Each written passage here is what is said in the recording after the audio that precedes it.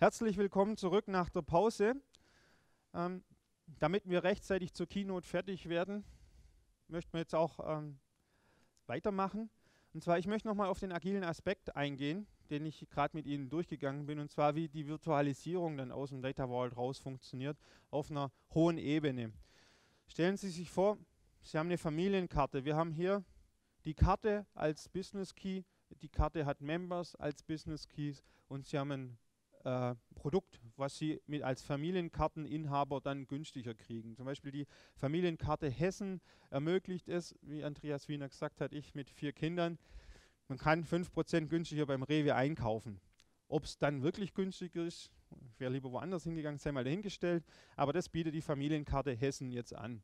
Wenn wir das mal ein bisschen auf die Seite schieben, dass ich Platz kriege für die Virtualisierung, wir haben unser Core Warehouse, da ist das jetzt alles drin, das Data Vault Modell, wieder Frage nach hinten. Wie viele Links sind es diesmal?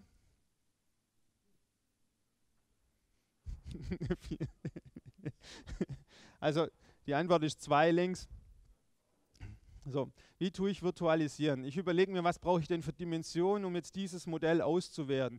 Eine Dimension ist natürlich die Karte an sich. Ne? Da suche ich mir jetzt den Hub mit den zugehörigen Satelliten raus und baue mir die Dimension Karte auf. Der nächste Schritt wäre, ich bräuchte noch eine Dimension des Produkts. Ich möchte ja irgendwas auswerten. Wie laufen denn die Produkte mit dieser Familienkarte? Und auch hier baue ich wieder die Dimension dazu auf. Und eine dritte Dimension wäre dann die Member-Dimension, die auch noch mit dazu kommt. Jetzt habe ich Dimensionen, aber mit Dimensionen allein kann ich ja nicht auswerten. Ne? Da fehlt mir in meinem Star noch irgendwie das Ding in der Mitte. Und das Ding in der Mitte hier nennt sich ja Faktentabellen. Da sind Folien durcheinander gerutscht. Die Faktentabelle, die baue ich aus den Links und den Satelliten drumherum an den Links zusammen, eventuell noch mit ein paar Informationen aus den Hubs und den zugehörigen Satelliten und schreibe dann das alles in eine Faktentabelle, in Anführungszeichen, oder ich virtualisiere es, indem ich eine View habe. Ähm, ich hatte gerade eine Diskussion darüber, dass sagt, ja, ab bestimmten Datenmengen ist Virtualisierung schwierig. Da gebe ich Ihnen recht. Das, was ich Ihnen jetzt hier zeige, sind Ziele, wo es hingehen soll in einer idealen Architektur. In den Projekten, die ich vorher gesagt habe, die Virtualisierung, die hat man nicht von Anfang an. Das ist Schritt für Schritt gekommen, bis wir eine hundertprozentige Virtualisierung hatten. Wir haben mit materialisierten Dimensionen gestartet, mit materialisierten Faktentabellen gestartet und haben dann nach und nach die ganzen Business-Regeln rausgezogen aus den Ladeprozessen, bis dann unsere Tests gezeigt haben, wir können mit den einfachen Selects die Star-Schemas immer wieder aufbauen, wenn wir die Tabellen weggeschmissen haben mit den gleichen Daten drin. Und dann haben wir gesagt, dann können wir sie auch vollends virtualisieren, die Tabellen. Und so haben wir uns Schritt für Schritt genährt. Es soll nicht von Anfang an das Ziel sein. Sie, äh, Sie sollen nicht von Anfang an gleich virtualisieren, sondern es als Ziel in Ihrem Warehouse-Projekt im Auge behaben. Genauso die Automatisierung. Sie bauen kein Warehouse-Projekt um des Virtualisierens willen oder um des Automatisierens willen, sondern sie bauen ein Warehouse-Projekt, um Daten an ihren Fachbereich liefern zu können. Das sind Elemente, die ihnen helfen, nachher das alles schnell und flexibel zu machen. Jetzt geht es weiter. Sie haben ein abwärtskompatibles Modell, das haben wir vor der Pause besprochen. Ich hoffe, Sie haben es noch alle äh, parat, was das heißt. Jetzt kommt hinzu, die, die Fachbereiche der Familienkarte haben entschieden, wir möchten noch Veranstaltungen dazu nehmen. Events. Die Events werden dazu gebaut, wieder über einen Link, einfach angefügt an mein bestehendes Datenmodell. Und jetzt möchte ich ja einen weiteren Datamart aufbauen. Und da kann ich sagen, ich nehme meinen bestehenden Datamart, die Dimension, die kann ich ja wiederverwenden und sagen, ja, ich möchte jetzt die Event-Dimension noch mit hinzubauen und die zugehörige Faktentabelle und auswerten, welche Karteninhaber verwenden welche Events, benutzen welche Events und möchte darüber eben was erfahren. Das ist wie die Virtualisierung funktioniert auf einem High-Level-Basis, wie Sie aus Ihrem Data Vault die Dimensionen rauskriegen und die Fakten rauskriegen. Und damit sind wir jetzt wirklich im Access Layer fertig. Wir haben den Business Layer virtualisiert, wir haben den Access Layer virtualisiert und sind beim Data Design. Das Thema Data Vault ist jetzt zu Ende. Ich möchte an Andreas übergeben, der Ihnen jetzt mit dem Information Design die gleichen Dinge weiterhin erzählt. Gut, Sie sehen wieder das Poster. Wir haben schon erzählt, ähm, wir haben hier alles ausgerichtet auf die Entscheiderin. Ähm, die Entscheiderin soll hier mit Informationen versorgt werden. Wie die Daten jetzt hochgespült werden, darüber haben wir uns heute ja, haben wir viel gehört von dem Herrn Lerner. Ich würde jetzt erzählen, wie diese Daten aufgenommen werden können, wie die Entscheiderin Entscheidungen treffen kann. Bedeutet, es gibt einmal das, was ich klassisch als Information Design bezeichne. Information Design bedeutet für mich klassische Präsentation. Das, was ich gerade hier tue, ist für mich Information Designte Präsentation. Ich mache, ich verfasse den Begriff so, dass es statische Reports sind, dass sie Dinge kriegen, die im PDFs klassisch sind oder man schickt eine Präsentation aus. Monatsberichte sind oft so in Unternehmen. Ähm, und die brauchen eine Notation. So, wenn ich Sie jetzt frage, was sehen Sie? Sagen Sie bitte nicht Flasche. Ich meine natürlich, was sehen Sie auf dieser Flasche, was eigentlich eine Amphore ist? Was sehen Sie? Lachen ist schon mal gut. Ich frage anders. Wer von Ihnen sieht Delfine? Da hinten sicher? Da, da sieht jemand Delfine? Wenn Sie Delfine sehen, sind Sie entweder ein Kind, Kinder sehen nämlich nicht das liebende Paar oder haben vielleicht sehr lange Informatik studiert. Aber nein, Spaß beiseite. Also nochmal, das liebende Paar sollten alle erwachsenen Menschen hier sehen. Na? Das bedeutet nämlich Folgendes. Unser Gehirn macht Folgendes. Unser Gehirn guckt darauf und sagt, Sex, zack, hingucken, wir können kaum anders. Hat jeder die Delfine mittlerweile gesehen? Ja, also hier ist ein Delfin, da ist ein Delfin, da einer, hier oben ist einer, etc. Was ich Ihnen damit zeigen möchte, ist jetzt hier keine Sexualkunde. Was ich Ihnen zeigen möchte, ist was, was anderes. Ähm, je nachdem, wie Sie geeicht sind, gucken Sie auf Daten. Bedeutet, wenn ein Vertriebsleiter CEO werden sollte, was durchaus mal vorkommt, dann guckt er immer mit so einer vertrieblichen Brille auf sein Reporting. Dann kommt so eine Geschichte wie, oh, wir steuern hier alles nach Zielerreichung. Ganz wichtig. So, jetzt bauen Sie Ihr ganzes Reporting um, sowieso, etc. Management Reporting, der muss adressiert werden. Das ist genau seins. Der hat auch ganz gerne 3D-Pie-Charts und hoch und runter. Das machen wir, der will das so. So, jetzt haben Sie folgendes Problem, der wechselt. Ihr ganzes Reporting bauen sie wieder neu auf, weil da kommt jetzt plötzlich der introvertierte, nachdem es mit dem Vertrieb nicht so geklappt hat, der introvertierte Controller vom CFO zum CEO geworden und schon geht das alles wieder von vorne los. Heißt, machen Sie bitte kein adressatengerechtes Reporting. Als ganz klare Aussage. Das ist Unsinn. Standardisieren Sie. Machen Sie feste Notation. Ein Beispiel, warum Visualisierung wichtig ist, sehen Sie hier. Wenn ich Sie frage, welcher Standort hat den höchsten Umsatz? Das bin ich hier mit dem Ausmachen, können Sie die Frage nicht beantworten. Sie müssten den ganzen Text von oben bis unten lesen. Wenn ich Sie jetzt frage, welcher Standort hat den höchsten Umsatz? Köln, Nürnberg, oh, das war gut. Wenn ich es jetzt so zeige, welcher Standort hat den höchsten Umsatz, sehen Sie alle Nürnberg. Was passiert denn in unserem Gehirn? In unserem Gehirn passiert Folgendes. Längster Balken, größte Größe. Kleinster Balken, kleinste Größe. Machen Sie das mal bitte mit Leuten, die sich so ich bin so ein Tabellentyp nennen. Also es gibt Leute, die können das unheimlich gut in Tabellen. So jeder Zehnte ist jetzt nicht empirisch hinterlegt, so meine Beratererfahrung. Jeder Zehnte kann das gut. Es gibt so CFOs, die haben so große Tapeten an der Wand und sagen, da. Ich glaube, die haben sich das vorher angeguckt. Aber trotzdem machen sie die große Show da im Meeting. Ähm, zeigen Sie mal den Leuten das Beispiel. Die meisten sagen dann auch, okay, das ist die Wahl, damit kann ich besser steuern. Ich sehe einfach mehr. Ich sehe Ausreißer halt auch schneller. So, wir sind auch unheimlich schlecht, also richtig schlecht darin, Werte abzuschätzen in Tabellen, Größenverhältnisse. Sie sehen hier verschiedene Länder. Diese Länder haben eine Fläche mal 1000 Quadratkilometer und dann sind hier Zahlen. Geben Sie doch mal bitte im Verhältnis an, wie groß ist wahrscheinlich Afrika, wenn Sie das hier sehen. Was würden Sie sagen? Wie groß ist so ungefähr Afrika, wenn Sie diese haben? Keine schwere Frage, Afrika tausendmal gesehen, Tagesschau, Hintergrund, was würden Sie tippen? Rufen Sie rein. Sie müssen hier jetzt schon mitmachen. Es ist keine Falle. Dreimal so groß wie USA. Größer, kleiner? Etwas größer? Jemand, der was ganz anderes sagt? Wer hatte gar keine Ahnung? Einmal Handzeichen, weiß keinen Plan. Auch gut. Alle Länder, die Sie gesehen haben, passen in Afrika rein. Ich möchte Sie jetzt auch wieder nicht hier geografisch belehren. Ich möchte Ihnen zeigen, dass Sie sagen, auf die Sache gucken und sagen, oh, passen alle Länder rein. Hier waren super Schätzungen, also dreimal war schon sehr groß. Aber meistens kommt immer so der Effekt, boah, ganz schön groß Afrika. So, bedeutet visuell, Aha-Effekte, Tabellen, boah, traue ich mich nicht so richtig. Wenn ich die Frage visuell gestellt hätte, wie groß ist Afrika im Verhältnis, hätten Sie es beantworten können. So, das ist das Klassikerbeispiel, das wir immer wieder zeigen, hier seit Jahren hinweg, ähm, wie viele Bälle Sie sehen. Der Trick dahinter ist, Sie können die Frage so sehr, sehr schnell beantworten, wenn sie strukturiert sind, die Bälle. Wenn die Bälle gezeigt werden, markiert, ach, so muss ich das lesen, dann habe ich eine Methode, das zu sehen. Und hier müssen Sie raten. Es ist immer dieselbe Anzahl an Bällen, die ich Ihnen natürlich zeige in dem Moment. So sieht aber das Berichtswesen in den meisten Unternehmen aus. Corporate Design auf der einen Seite, wir machen hier so ein bisschen lila, wir machen so ein bisschen blau, das ist cool. Der mag das so am liebsten, das machen wir. Einzelne Inseln reporten. Einige gehen schon ein paar Schritte weiter und fangen an zu standardisieren, haben hier so Abteilungen, beispielsweise so ein Fünfer rein und machen das. Das geht auch so, wenn man ein Konzept hat. Zum Beispiel hat man, sich, hat man sich was runtergeladen oder man hat gesagt, darauf setzen wir jetzt oder hat schlaue Bücher auf dem Markt gelesen. Und das ist das, was ich versuche immer so meinen Kunden zu verkaufen. Da soll die Reise irgendwann mal hingehen. Weitere Beispiele, ähm, warum wir keine adressatengerechtes Reporting machen sollten, ist das.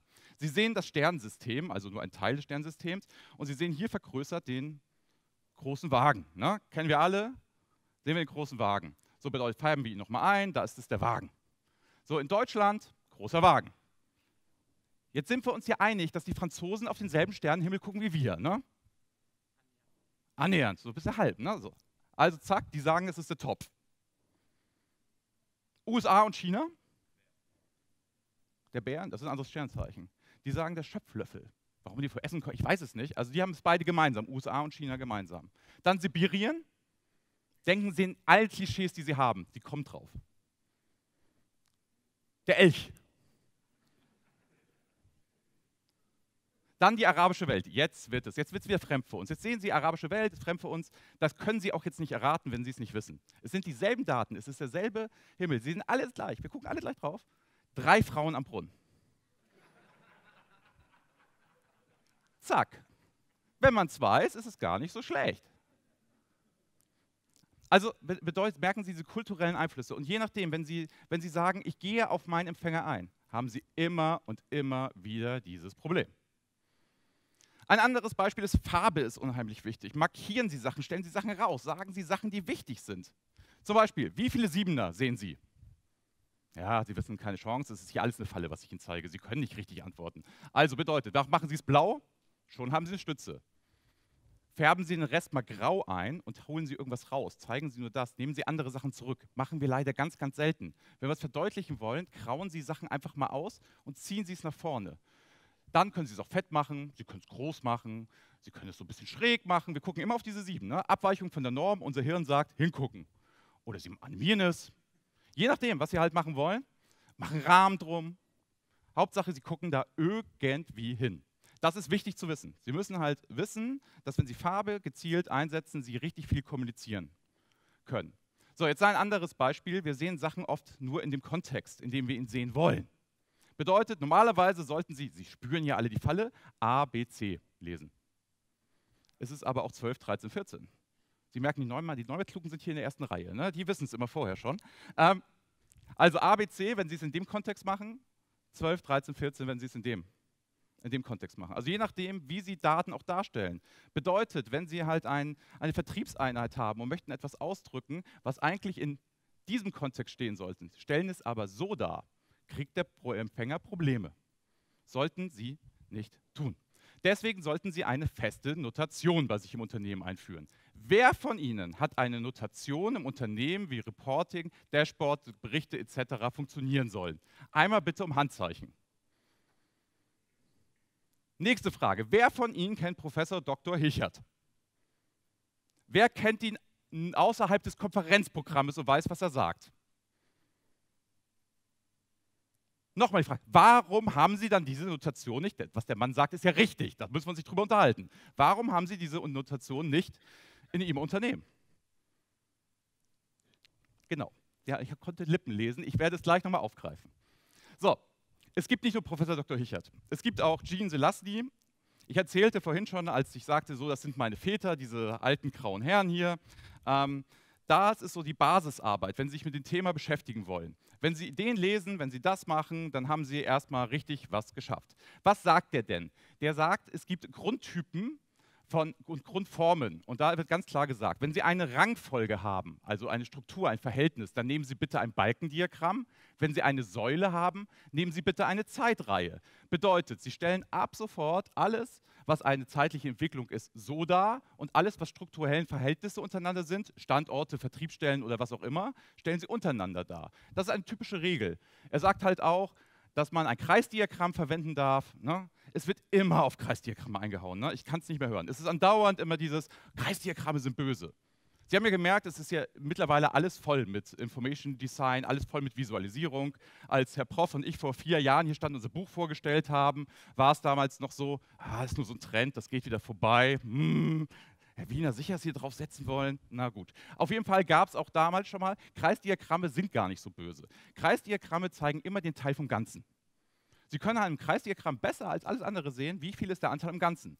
Ein Kreisdiagramm wird halt nur über unübersichtlich, wenn Sie drei bis fünf, als mehr als drei oder fünf Kategorien haben, dann wird es auf einmal so. Herr Hichert lehnt das Kreisdiagramm nicht ab, weil er es schlecht findet. Er lehnt es ab, weil er sagt, die Aussage ist banal.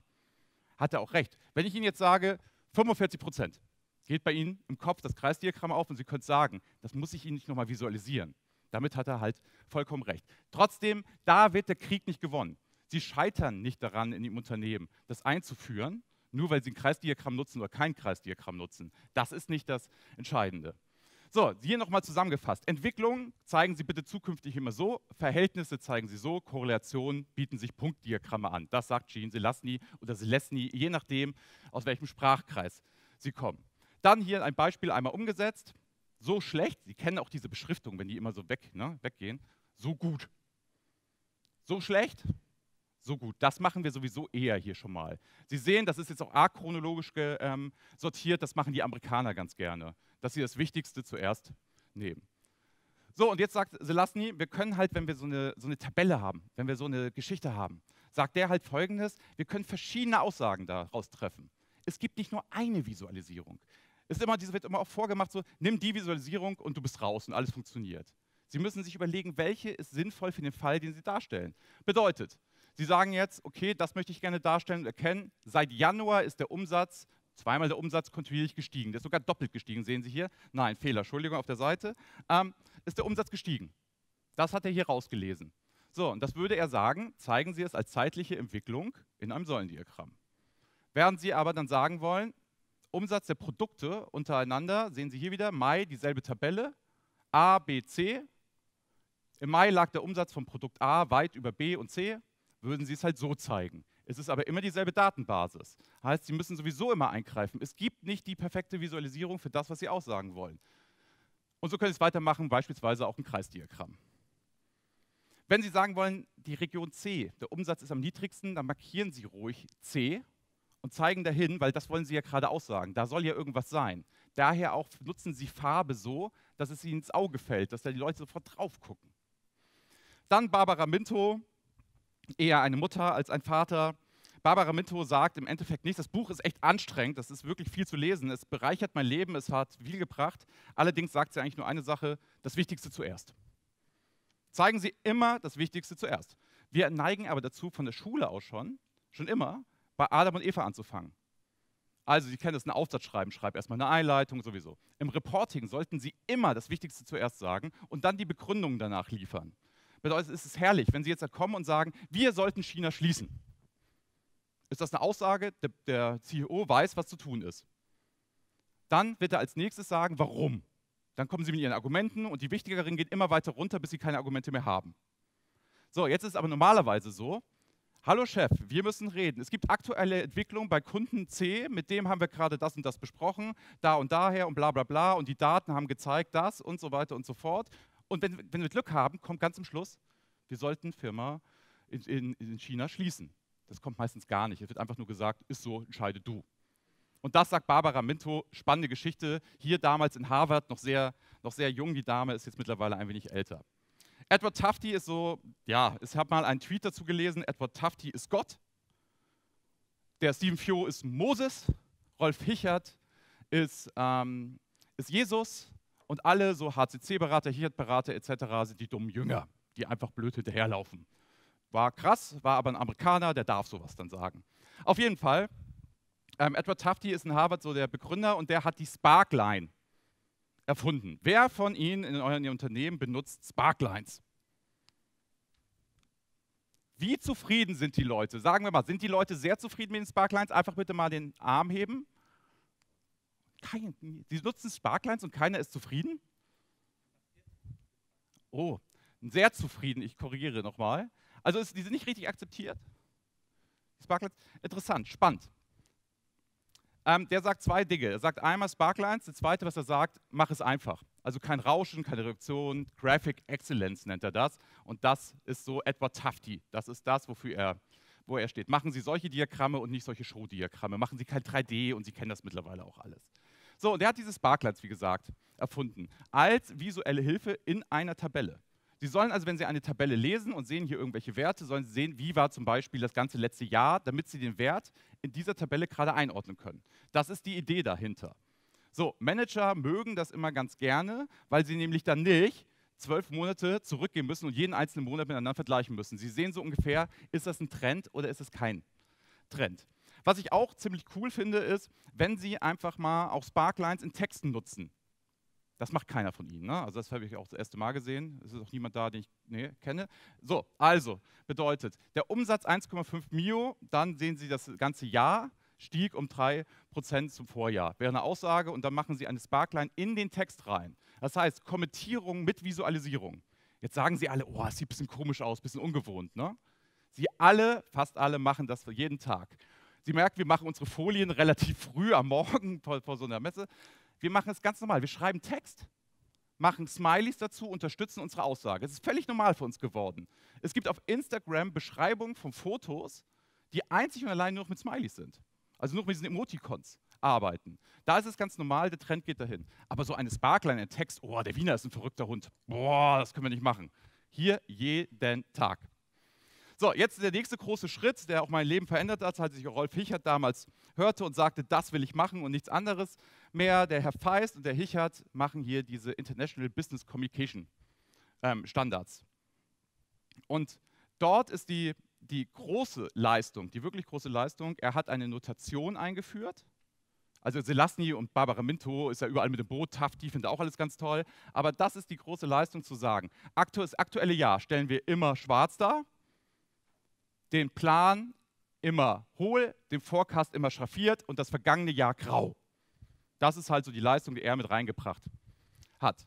Zudem sagt er, wir brauchen für alle Diagramme, für alle Sachen, erzählt er ja gleich alles selber, nur damit Sie es einmal gesehen haben, brauchen wir Titelkonzepte. Ganz klar strukturiert, wie sieht so ein Titelkonzept aus. Und da unten sehen Sie eine klassische Hichert-Grafik. Bedeutet, Sie sehen Abweichung absolut und Abweichung prozentual. Die Abweichung prozentual, die Sie hier rechts sehen, das sind diese NURPSIs, das heißt, Sie erkennen am Diagramm schon, das sind Prozente und das sind absolute Werte. Hier ist das Ist und da haben Sie noch den Planwert. Und so können Sie damit arbeiten. Das wird er jetzt nachher wirklich in Gänze vorstellen. Das ist sehr, sehr, sehr sehenswert.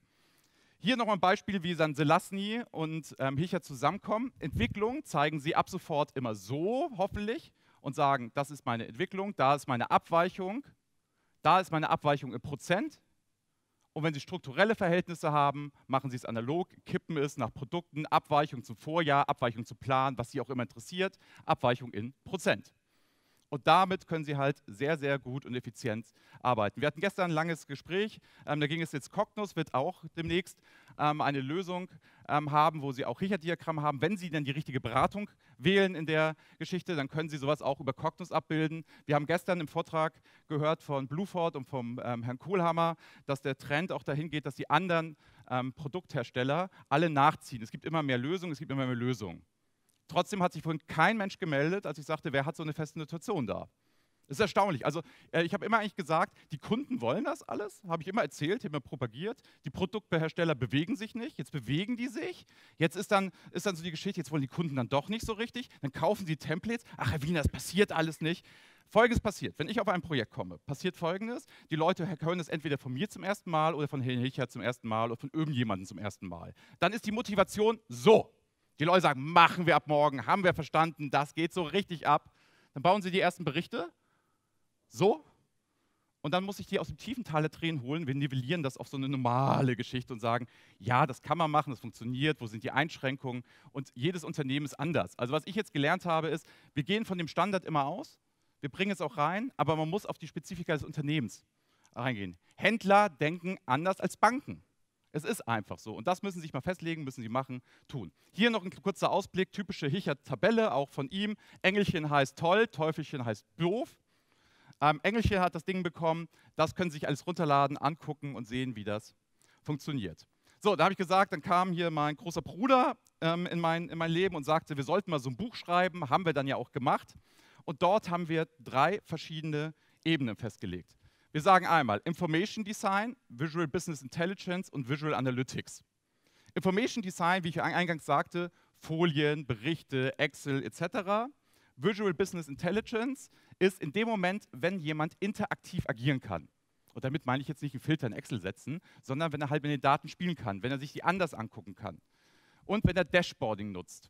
Dann Visual Analytics ist das, was Herr Kohlhammer gestern auch beschrieben hat, richtet sich an Data Scientist, explorative Datenanalyse, auch oft am Data Warehouse vorbei. Also Herr Lerner und ich haben jetzt nicht so viel zu tun mit dem Thema Visual Analytics. Wir unterstützen dann meistens immer beim Thema Visual Analytics, wenn es ins Reporting zum Management geht. Also wenn die coolen Data Design, Data Scientists in den Firmen irgendwas rausgefunden haben, dann versuchen wir immer die Schnittstelle wieder zu bringen. Was hat das gebracht, das ordentlich zu reporten? Weil die Jungs sagen immer den ganzen Tag, ist doch klar, sieht man doch alles. Das ist nicht jedem Manager und nicht jedem Entscheider sofort klar, was man da sieht. Das sind sehr komplexe, schwierige Grafiken. So haben sie die Jungs hier nochmal da, der Entscheider hat eine Krawatte, der BI-Anwender hat keine. Sie merken, wir lassen kein Klischee aus. Ähm, und der Data Scientist hat eine Brille. Und hier sehen Sie das interaktive Element, was Sie hier nicht haben. Jetzt gibt es oft diese Geschichte Trend Mobile BI. So Manager müssen so ein iPad haben und dann auf dem iPhone. Alles machen, entscheiden. Ne? Laufen über den Flughafen, gucken drauf. China schließen, rufen an, machen, easy. So läuft es nicht. Das ist Unsinn. Also, ganz ehrlich, ich bin kein Freund von Mobile BI und kein Freund, wenn Entscheider Mobile BI kriegen. Stehe ich ziemlich alleine da mit der Meinung, weil andere verkaufen das halt. Aber trotzdem, nein, ich sage halt Folgendes. Ich glaube, dass man auf einem Mobiltelefon keine richtige Datenanalyse machen kann, keine ordentlichen Entscheidungen, keine wichtigen Entscheidungen treffen kann. Das kann ein Entscheider, soll aber wichtige Entscheidungen treffen. Ein BI-Anwender kann sehr wohl Mobile BI haben. Also angenommen, Sie sind jetzt Vertriebsleiter, möchten Ihre Zahlen sehen, sich vorbereiten, Kundentermin, das macht Sinn. Aber bitte nicht immer diese hohe Entscheidungsebene, immer ganz oben aufhängen. Aber die Jungs da oben wollen ja alle das iPad, deswegen kauft man denen das, macht denen das, macht irgendwelche Apps und solche Geschichten. Ich traue trau der Geschichte nicht. Und immer je mehr wir da waren, haben auch mehr CFOs immer gesagt, die sind da eigentlich immer relativ kritisch gewesen. Herr Wiener, kann das sein, dass ich das auf dem iPad gar nicht brauche, dass wir das Geld sparen können? Weil ich kriege das ja jetzt geschickt, wir haben hier genau klar, wie das dann noch ist, Auswertung. Und wenn die einmal verstehen, dass diese Entscheider, also wirklich oberste Ebene, sollen doch hier nicht zum Datenanalysten werden. Die Jungs sollen doch nicht da unten irgendwo rumwühlen und selber was machen, dann können die Controller auch ihre Sachen packen und gehen.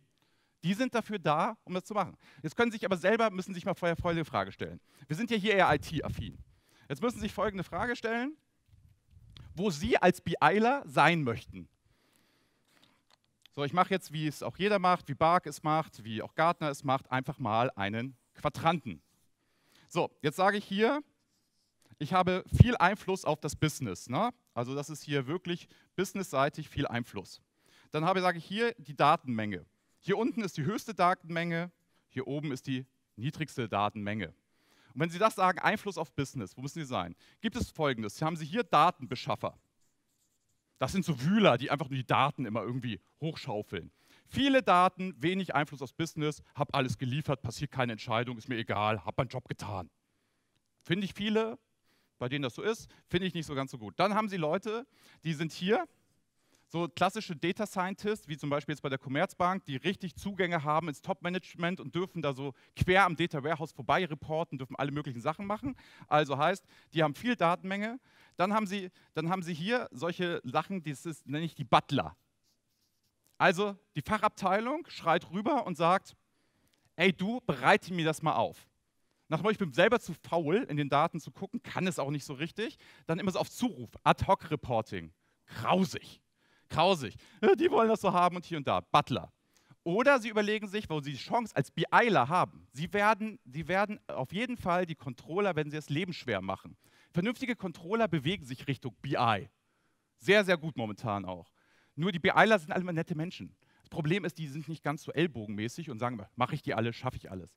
Aber BIler sollten dahin streben, hier Businesspartner zu werden. BIler sollten sich zur Aufgabe machen, ich bin hier nicht derjenige, der nur schaufelt. Ich bin derjenige, der hier Entscheidungen beiführt. Ich bin derjenige, der hier zeigt, wir machen Business mit meinen Methoden, mit meiner Technik. Das können die Controller mit den Excel-Tabellen nicht. Das ist so eine Aufgabe. Wenn Sie das nächste Mal in der Gehaltsverhandlung sitzen und sagen, oh, ich habe ganz super die Daten beschafft. Ich mache das ein bisschen polemisch, Sie merken das. Ne? Ich habe ganz super die Daten beschafft. Ganz toll. Mhm. Wenn Sie aber sagen, kannst du dich an die drei Entscheidungen erinnern, auch polemisch gesagt, die wir getroffen haben aufgrund meiner Analysen, meiner Bereitstellung, was kommt. Das ist aber leider nicht die Realität. Also die BIler gehen oft nicht diesen Weg, obwohl ich es befürworten würde. Also bedeutet so viel zum ähm, statischen Reporting. Unsere Entscheiderin bin ich halt wirklich ein Riesenfan von. Jetzt ist die Welt aber oft anders, dass man auch sagt, die Entscheiderin kann ja auch eine tiefe Ebene sein, kann auch BI-Anwenderin sein. Es muss ja nicht immer Top-Management sein. Es gibt ja Führungskräfte, die brauchen Zahlen, die machen es nur in ihrer Abteilung, dürfen das nur bei sich sehen. Heißt, geben Sie den Leuten auch Möglichkeiten, interaktiv auf die Daten zu gehen. Wir nennen das auch Self-Service. So, jetzt hören Sie schnell, oh, Self-Service. Ne? Ich kann Sie verstehen. Ne? Sie geben den Fachabteilung Macht und machen alles Mögliche. Die können jetzt alles selber machen, können sie natürlich nicht, geht alles gar nicht. Ne? Das, wird, das neueste Trend ist dann, sie machen Self-Service ne? und dann werden in der Fachabteilung und dann macht man ITler und BIler zu Fachabteilungsleuten, die dann da reingehen, so, weil die das natürlich auch hinkriegen. Wir sagen, machen Sie lieber als BI-Abteilung Manage Self-Service. Geben Sie Regeln vor, Notation. Sind Sie derjenige, der treibt? Zeigen Sie Ihr Management auf, wir machen hier was, wir haben das. Wir unterstützen das Controlling in Ihrer Entscheidung. Managed, also Sie müssen das in der Hand haben. Self-Service heißt nicht Freiheit und mach, was du willst. Dann haben Sie wieder diese Bälle. Aber Sie kennen das, die wollen alles selber machen. Da kommt Stephen Few ins Spiel, ähm, den ich mittlerweile auch sehr, ähm, sehr verehre. Der ist ein bisschen, bisschen gemäßigter, hat den Bullet-Graphen erfunden, das ist ihm so zuzuschreiben und er redet davon, wer braucht eigentlich ein Dashboard, wann macht ein Dashboard Sinn und wer sollte eins haben. Drei Teile hat er, operatives Dashboard, strategisches, analytisches. Operative Dashboards haben zum Beispiel Vertriebler mit der Zielerreichung. Hier in einem Callcenter, wo ich schnell agieren muss, wo ich einfach nur monitore.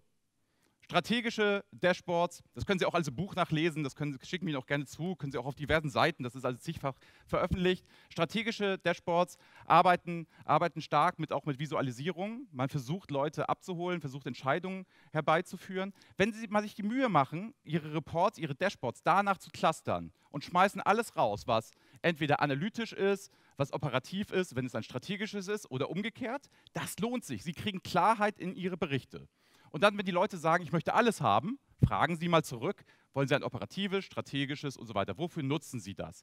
Und Sie haben so eine Methode. Sie müssen die Leute nicht angreifen auf Business-Ebene. Sie können sagen, ich habe hier so eine Methode, danach mache ich das, ich cluster das. Funktioniert super. Kurzer Exkurs, was Sie beim Dashboarding beachten sollten. Bitte machen Sie keinen Scroll in irgendein Dashboard rein. Also, sprich hier diese Geschichte hier unten. Ne? Machen Sie das nicht. Es gibt mehrfach empirische Untersuchungen, dass kein Mensch rüberscrollt. Und in dem Moment, wenn es dann doch einer tut, hat er alles vergessen, was er gerade gesehen hat. Weil er interagiert hat mit dieser Geschichte. Und dann sind wir relativ schlecht als Menschen. Klack zu, äh, wissen wir nicht mehr. Bedeutet, benutzen Sie bitte keinen Scroll, zeigen Sie alles. Dann das nächste ist, zeigen Sie so viel, wie Sie können, auf einmal. Alles, was geht. Richtig viel auf einmal. Sie ich weiß, Sie haben es alle anders gelernt. Man soll wenig zeigen, KPIs, Tachos, Ampeln, super cool. Nein, zeigen Sie so viel, wie Sie nur können. Was sehen Sie? Sie trauen sich jetzt gar nicht mehr. Ne? Sie sind sowieso schon so schüchtern. Ein Elefanten, sehr gut. Wer sieht Delfine? Dummer Scherz. Nein, also, ähm, Sie sehen, na, es küssen sich jetzt gleich zwei. Wenn ich das ganze Bild zeige, sehen Sie, Sie haben einen Fehlschluss begangen. Das heißt, wenn Sie nur Ausschnitte zeigen, wie hier, und nicht alles auf einmal, können Sie das Business vielleicht gar nicht übersehen. Weil Sie sagen, hier, da küssen die sich gleich, da sagen Sie, gehen Sie aneinander vorbei. Verstehen Sie, was ich meine? Je nachdem, wie Sie Daten präsentieren. Deswegen so viel wie möglich. Ein anderes Beispiel, warum Sie das nicht machen ähm, sollten, ähm, also nicht wenig zeigen, sondern viel zeigen, ist das hier. Das ist hier so ein Balken so eine Auswahlliste, wie sie oft so in Dashboards ist. Ne? Sie können jetzt Deutschland anwählen, Frankreich, Italien, Spanien und so weiter. Jetzt haben Sie hier den Juni, Y-Achse auch ganz schlecht, aber egal, haben Sie den Juni und raten hier den Wert. Wir sagen mal, das ist 122. Jetzt würde ich diesen Wert im Juni ne, in Italien ja so gerne mit Deutschland vergleichen. Bedeutet, Sie müssten jetzt Deutschland oben anklicken. Was macht der Entscheider mit so einem Dashboard? Der nimmt sich einen Zettel und einen Stift, schreibt auf 122, klickt auf Deutschland und vergleicht dann den Wert. Bedeutet, Sie haben Millionen ausgegeben. Sie beschäftigen IT- und BI-Abteilung und nachher, um wirklich um nachher sich hinzustellen, mit Zettel und Stift die Sachen zu vergleichen. Deswegen alles auf einen Schlag. Immer.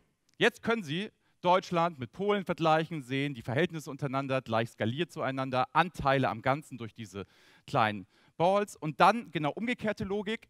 Wenn Sie jetzt Deutschland vergrößert sehen sollen, weil Sie Juni und Juli interessiert und die Abweichung, klicken Sie drauf, ne, BI, Drilldown, kennen Sie?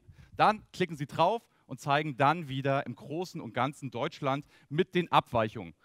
Dann haben Sie einen anderen Zugang einfach nur gewählt. Das liegt hier nicht an den Tools. Das liegt auch nicht daran, ob Sie irgendwas einsetzen machen. Klar, Hicher-Tools sind cooler, besser, toller. Sie können aber auch diese Regeln mit ganz normalen Standardmitteln erreichen. Wir machen uns nur nie Gedanken darüber. Wir entlassen das auch oft so den Fachabteilungen. Die sollen sagen, wie sie es haben. Nein, gehen Sie proaktiv rein. Sie wissen es doch ab heute besser. Dann auch ähm, Ben Schneiderman mit seiner, mit seiner Tree Map.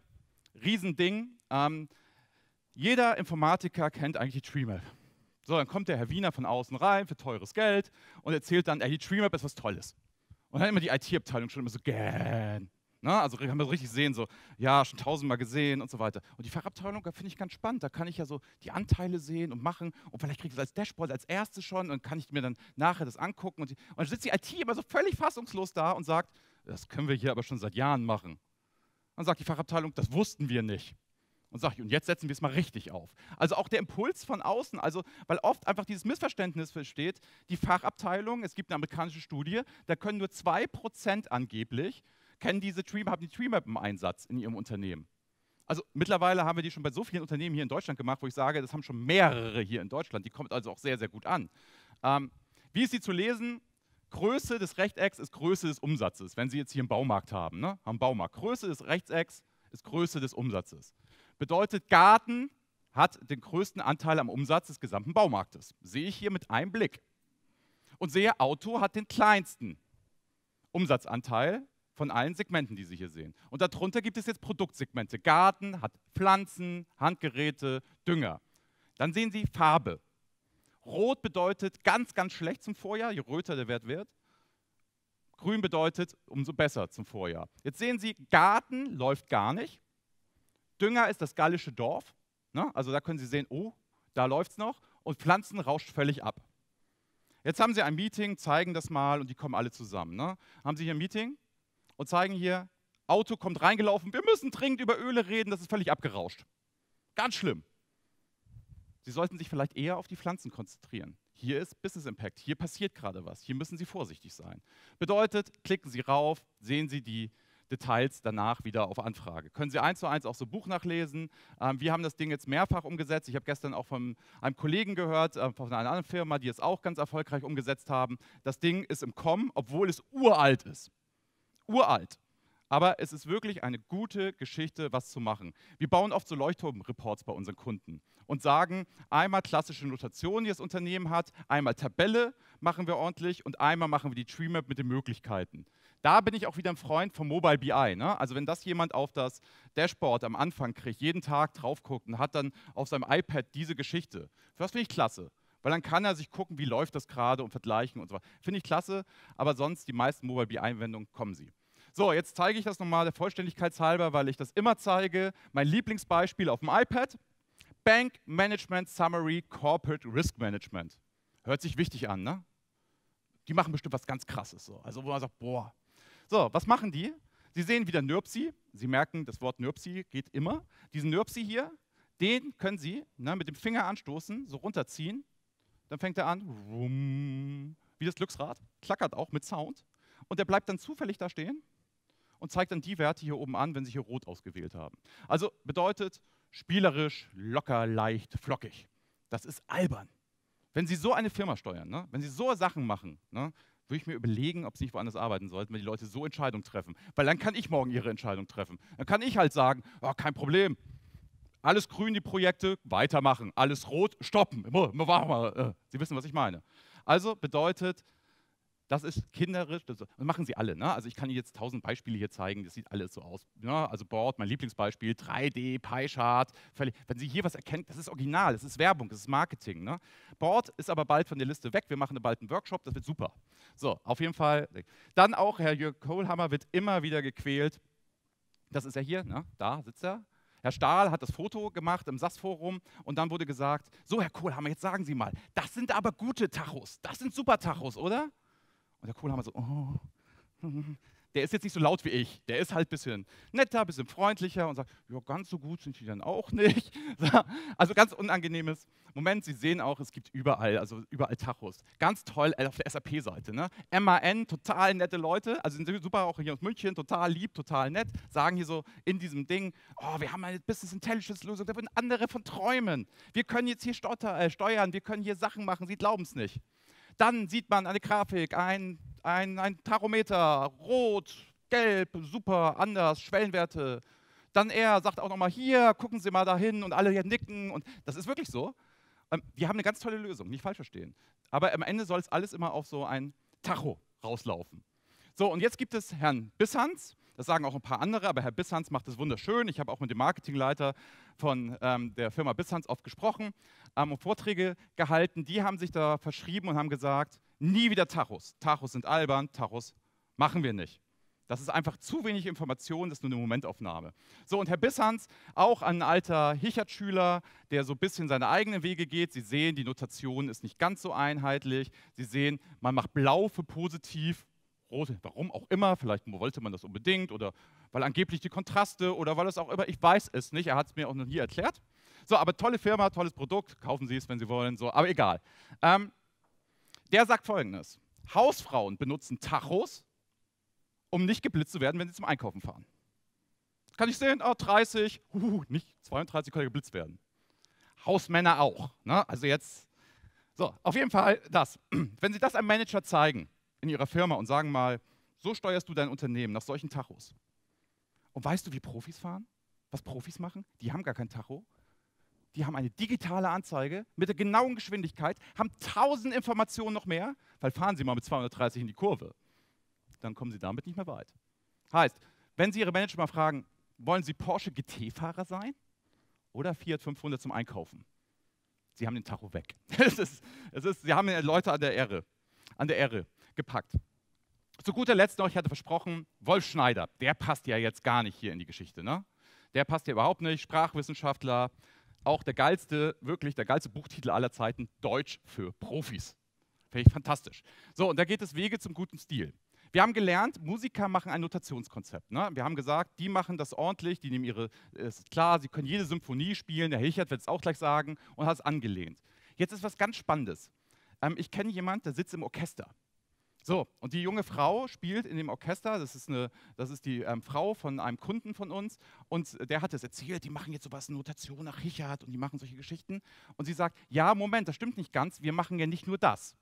Obwohl ich hellhörig in dem Moment und dachte, okay, wir kommentieren alle Sachen, die der Dirigent vorgibt. Die proben das, dann gibt es Kommentare, dann werden Interpretationen gemacht, dann wird gesagt, hier wird jetzt mal Pause gemacht, da müssen wir ein bisschen lauter spielen, da habe ich Zeit zum Reinigen. Es gibt also auf der Notation, die feststeht, die bleibt bestehen, gibt es dann Texte. Und da haben wir uns das auch mal überlegt und haben gesagt, man kann ja auch die Sprache mal anpassen. Weil, sind wir ehrlich, BIler, Controller, wir sind alle kein Thomas Mann wir können keine guten Texte in der Regel schreiben. Gibt Ausnahmen, Sie wissen das, aber normalerweise ist es schwer. Weißes Blatt Papier, was schreiben, ist schwierig. So, und deswegen haben wir gesagt, wir versuchen mal genau solche Regeln aufzusetzen, genauso in Textform. Also, Frau Flock kann nicht nur wunderbar zeichnen, die ist auch noch in der Lage, Ihnen das alles mal zu erklären. Ich kann das nicht mehr also nicht so gut zumindest. Nur Sie werden sehen, also wir machen, sagen halt auch, die Texte müssen Sie standardisieren. Sie müssen Vereinbarungen treffen. Wie schreiben Sie Texte? Schreiben Sie Texte kurz, knapp, nur Hauptsätze? Lassen Sie Füllwörter weg? Im Grunde genommen haben wir wirklich keine Wahl. Meines Erachtens nach sollten wir eigentlich das ziemlich gute Angebot der Firma rasch annehmen. Richtig wäre, wir sollten das Angebot der Firma noch diese Woche annehmen, weil wir keine andere Wahl haben. Punkt. Also auch da kann man mal was machen. Das ist so ein Workshop, einen Tag, das hat man dann drin, sich mal Gedanken auch über Sprache zu machen, gerade in diesen Zeiten der Kommentierungsfunktion. Dann habe ich gesagt, wir haben eine Methode, nach der wir auch vorgehen. Und wir behaupten, es gibt verschiedene Sichten im Unternehmen, die Sie haben sollten. Sie sollten die anders versorgen. Ein Analysten zum Beispiel, der braucht detaillierte Informationen, der braucht Drilldown, der braucht tiefe Analysen und der braucht verschiedene Sichten auf die Daten. Der muss da wühlen können, der muss da richtig reingehen können. Während so ein Allrounder, das sind oft so Controller, BI-Leiter, die sagen, ja, ich bin irgendwo dazwischen, ich kenne meine Rolle eigentlich gar nicht, aber ich möchte mal rein und so weiter. Und wir sagen, der Stratege, der steuert nach KPIs, nach Zielen, der braucht so eine Overview und braucht nur eine einzige Zahl, die stimmt. Alles andere führt zu Problemen. Heißt, der Analyst strukturierte Daten, der kriegt eher Tabellen.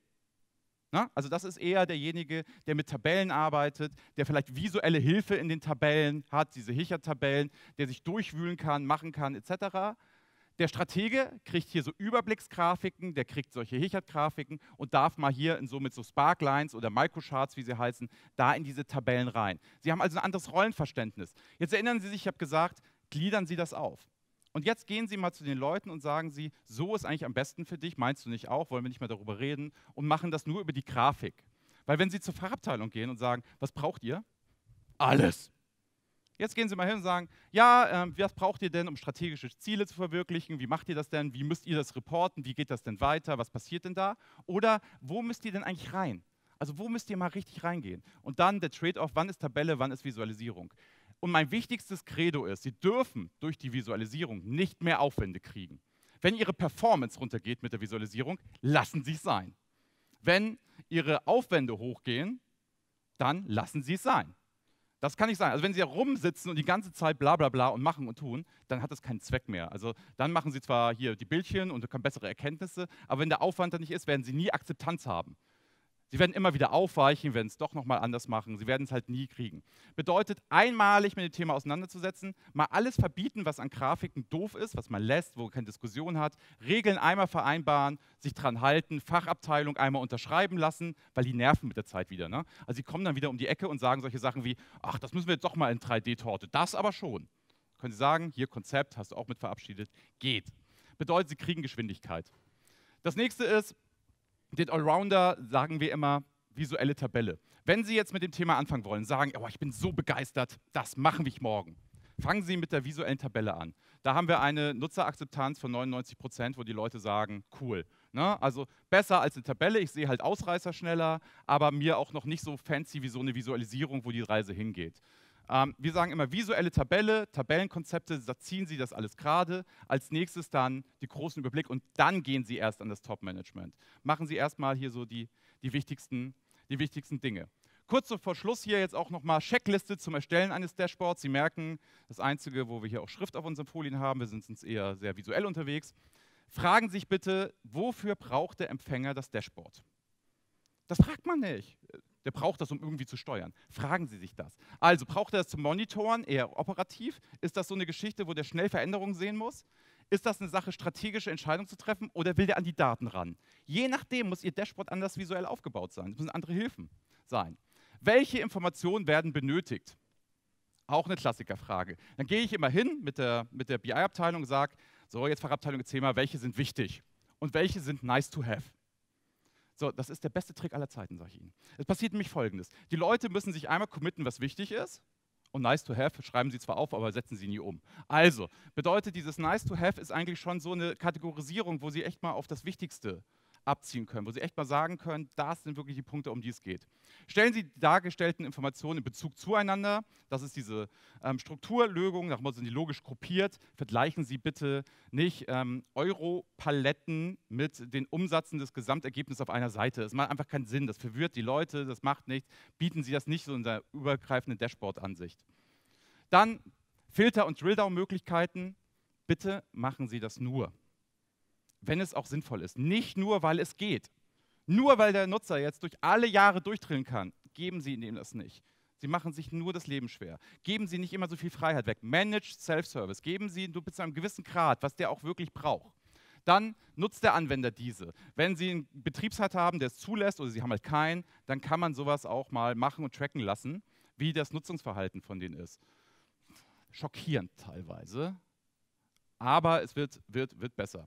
Und auch so eine Frage, wann werden die Daten aktualisiert? Fragen Sie die Fachabteilung, sagen die in Echtzeit immer, dauernd. Deswegen auch ab und zu reicht vielleicht nur monatlich, wöchentlich, täglich. Und das machen Sie, beschreiben Sie einmal für jedes Dashboard, für jeden Report einmal runter. Und Sie merken, das gilt dann für 30, 40, 50 Dashboards, für 30, 40, 50 Reports. Also es ist eigentlich die Logik, wenn Sie einmal eingebaut haben, funktioniert durchgängig. Kurz zum Schluss, Sie sollten das machen, spart Zeit, höhere Effizienz und bessere Entscheidungen. Wenn Sie jetzt sagen wollen, Mensch, ich mache jetzt diese Hichert-Kiste, das habe ich jetzt bei Twitter gelesen. Lars Schubert hat ein Hichert-Add-on und sagte, und dann kam die Realität. Was ich schon sagte, es ist relativ schwer, das umzusetzen, durchzusetzen. Sie brauchen Sponsoring, Sie müssen sich mit Leuten abstimmen, es sind viele Workshops nötig. Sie müssen wirklich was, müssen wirklich was tun. Vorgehensmodell, bestimmen Sie Ihre Rahmenbedingungen, gucken Sie, was Sie haben, kaufen Sie nicht alles neu. Machen Sie erstmal, was Sie haben.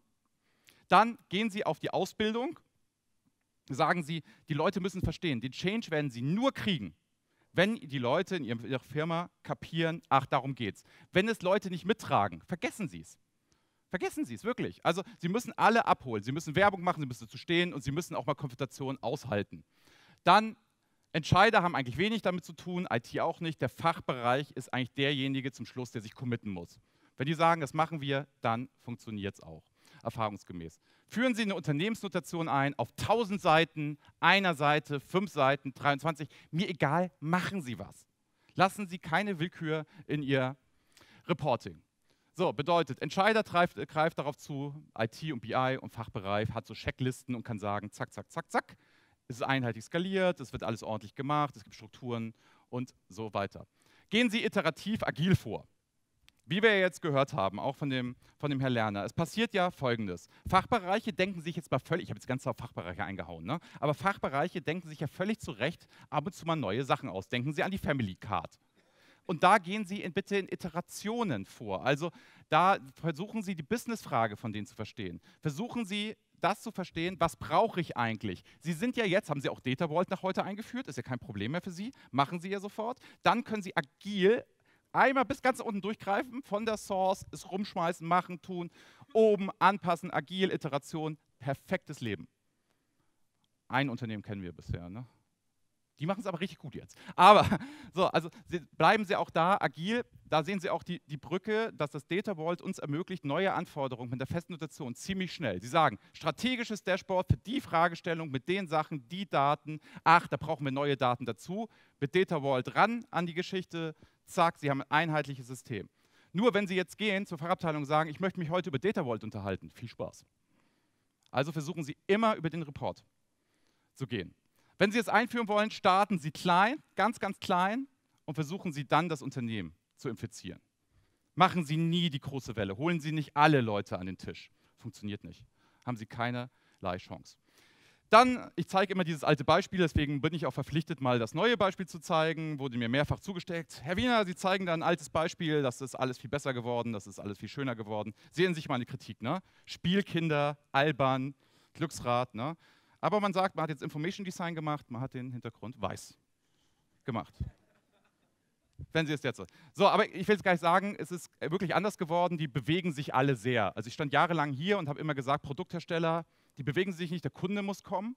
Jetzt würde ich sagen, die Produkthersteller machen viel. Und es gibt viele tolle Lösungen. Wir sind immer ganz froh, wenn wir irgendwo hinkommen und es ist schon irgendeine Hichert-Lösung, irgendeine Sache ist da. Aber zum Durchbruch und zur Akzeptanz, dass es funktioniert, das machen wir meistens immer so im letzten, im letzten Schritt. Bedeutet, wenn Sie jetzt das Glück haben sollten, Data Warehouse auf der grünen Wiese, oder Sie sind völlig frei, Sie haben jetzt Millionen gekriegt weil sie jetzt sagen können, alles klar, wir sollen hier unsere IT-Systeme, BI-Systeme nochmal richtig aufbauen, ganz neues Data Warehouse. Dann machen Sie bitte Folgendes, definieren Sie als erstes Ihre Berichte. Alle erstmal die Berichte, die Sie haben wollen. Nicht die Möglichkeiten, die sich alle bieten, sondern das, was Sie haben müssen, um Ihr Geschäft zu steuern. Das kann ein Controller auf einem Stück Papier erstmal machen. Sie haben einen Riesenvorteil. In dem Moment, wenn dann alle die Toolhersteller antanzen, wir sind oft in diesen POCs dann dabei und müssen unsere Meinung, Meinung zur Visualisierung sagen und ja, ist das was?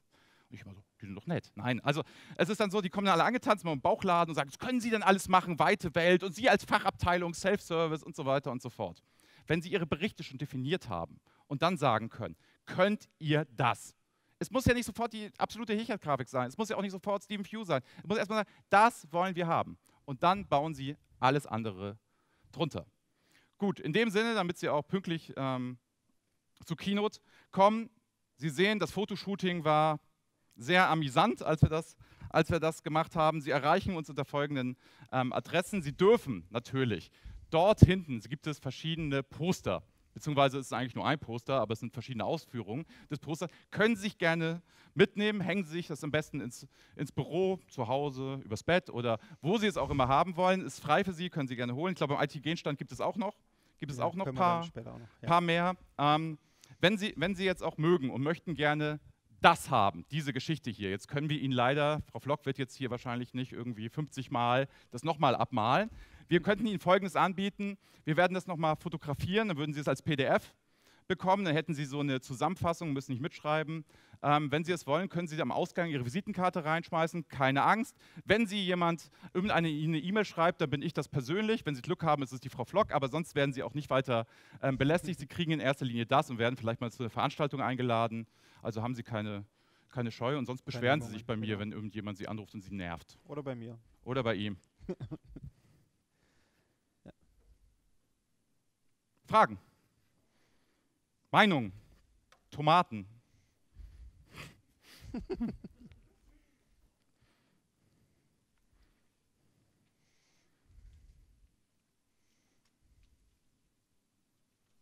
Wer hat sich von Ihnen schon mal an dem ganzen Thema Hichert versucht? Wenn Sie ganz laut schreien, wie hat das geklappt? Gut, sind Sie, sind Sie, sind Sie durch? Jawohl. Noch nicht? Ah, schon. Also Sie haben auch klein angefangen mit einzelnen Etappen. Auf, darf ich fragen, auf welchem Tool? Okay, aber dann, dann sind Sie schon ein bisschen kreativ unterwegs an der einen oder anderen Stelle, ne? Ja, ne? gut, hilft ja nichts. Gut, das ist aber auch so eine Story, finde ich ja gut, finde ich ja klasse erstmal. Sie müssen immer die Aufwände auf der anderen Seite nochmal in Betracht ziehen. Wenn Sie ewig an diesen Visualisierungen sitzen, hey, machen Sie es nicht. Sie werden nicht glücklich dabei. Sie kaufen Sie Templates, kaufen Sie Add-ins, das funktioniert alles sehr, sehr gut. Wenn Sie es nicht brauchen, bauen Sie es so bestmöglich. Es gibt halt auch noch eine Welt zwischen 3D-Pie-Chart ne, und Abweichungen prozentual kumuliert mit Underscore dargestellt. Es gibt auch noch was dazwischen. Ich bin der Freund davon, wenn Sie ganz weit nach rechts Richtung Hichert gehen, finde ich ganz, ganz toll. Kann man ganz viele tolle Sachen machen, weil dann habe ich halt auch den Vorteil, ich rede nur noch inhaltlich fachlich über die Reports, wie man sie strukturiert, aufbaut, was ist wichtig. Reportreduzierung, das ist dann meistens mein Thema. Deswegen, ich muss nicht immer jedem erzählen, oh, das 3D-Chart ist aber gruselig oder machen Sie die Vorjahre grau. Also ganz ehrlich, das können Sie auch allein, da brauchen Sie mich nicht für. Dann die gleiche Frage von mir. Wer von Ihnen hat schon Data Vault im Einsatz im Warehouse? Hier vorne. Und sind Sie zufrieden damit? Klappt's gut? Okay. Alles klar. Können Sie ja heute viele Ideen mitnehmen, was noch zu machen ist. Ja. Und dann natürlich die Frage von uns beiden. Wer hat schon zusammen gemacht? Okay, hat sich eigentlich erübrigt, die Frage. Ne? Hinten ist der Fachbereich mit Notationskonzept vom Information Design, hier vorne Data Vault. Ähm, ja, wie finden Sie die Idee, das alles zusammenzubringen? Finden Sie sich wieder?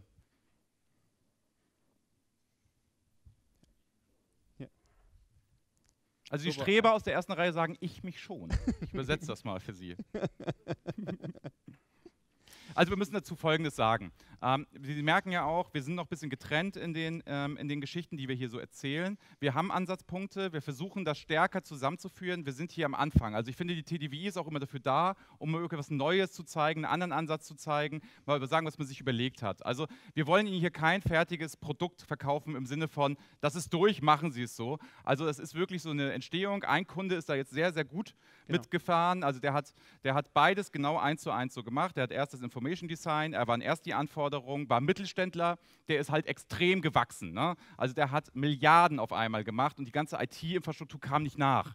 Und die hatten dann das große Glück, dass sie halt sagen konnten, wir machen erst unsere Berichte und brechen es dann runter. Und habe ich gesagt, das war so ist es ja entstanden, habe ich gesagt, Dirk, magst du da nicht mal vorbeigehen und das mal den Keller aufräumen, mal Hausaufgaben machen. Und dann haben wir gesehen, zack, zusammen. Also wenn Sie das große Glück haben, also gerade wachsende Mittelständler, für die ist das garantiert was, weil sie dann mit modernsten Methoden, auf die Sache gehen, brauchen aber nicht die teuersten und besten und riesigsten Techniken dahinter. Und auch große Konzerne, gerade im Thema Data Vault, denke ich immer, sieht man ja, dass sie auch im Refactoring-Ansatz und dass sie auch mit Data Vault vieles mit der Methode erreichen können und nicht immer alles neu machen müssen. Ja. Weil dann kommen die ganzen neuen Probleme und im Information Design genauso. Laufen Sie nicht den Sachen hinterher, sondern machen Sie das Bestmögliche aus Ihren, aus ihren Dingen.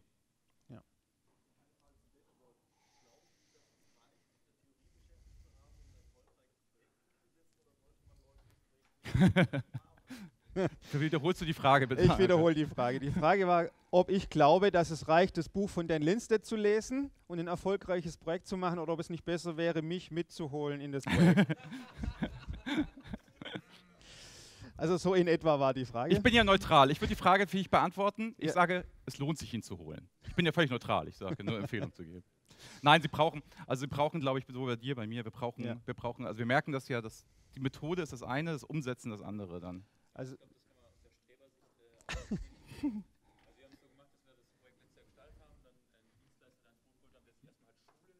ja. Okay.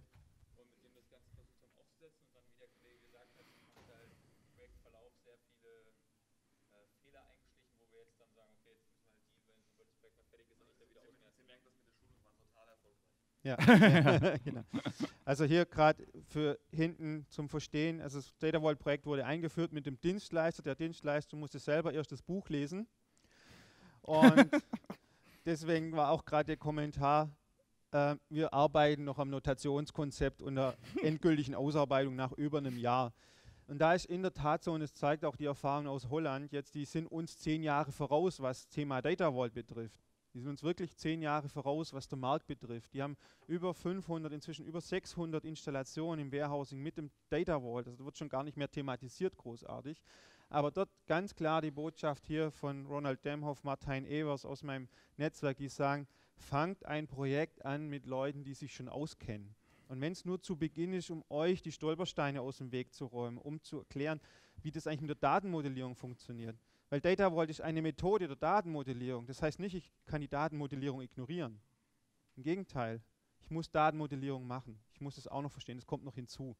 Und da ist natürlich wie im Information Design, wenn Sie hier äh, äh, mal die Experten mit reinholen, zumindest zum Anfang und ihnen zeigen, wo geht der Weg hin und dann weiter begleiten in den Projekten, habe ich selber sehr, sehr gute Erfahrungen gemacht, dass dann das Projekt auf den richtigen Weg kommt. Also nehmen Sie bitte keinen Dienstleister, der ein Buch vorher liest und Ihnen dann Schulungen zu dem Thema gibt. Nehmen Sie lieber einen Dienstleister, der ein Buch geschrieben hat. Nein, also, also jetzt ohne, ohne, ohne, ohne Spaß. Ohne, ohne Spaß. Ähm, wir haben das gemerkt, wir haben das halt, glaube ich, ja vor vier Jahren erstmalig dieses Visualisierungsthema für uns hier vorgestellt. Nachdem kam das Buch etc. Ähm, was ich vor vier Jahren ähm, erzählt habe, was so sehr theoretisch war, ist immer weiter, die Theorie ist immer weiter in den Hintergrund gegangen. Es geht immer mehr jetzt in die Umsetzung rein. Also ja. es ist so, die Theorie, das kennen jetzt mittlerweile viele, das kann man sich mal antun, das lernt man auch und das ist auch gut und das ist auch wichtig, das muss man auch mal machen. Aber die Awareness, der Spaß daran, dass die Leute hinterstehen und die Methoden, wie setze ich es tatsächlich um? Wie oft muss ich mich treffen? Muss ich jetzt dreimal die Woche einen Workshop mit allen Leuten zusammen machen oder reicht es so?